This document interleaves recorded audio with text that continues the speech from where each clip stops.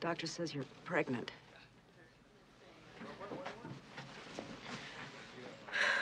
What are you? If he says so, I guess I am. This is all news to you? How was I supposed to know? I'm always missing. No, I am. You had to let me show up here and get slapped in the face with it. I don't know. Who is it? I'm not telling you. You always treat me like a little kid. You know, do this and do that.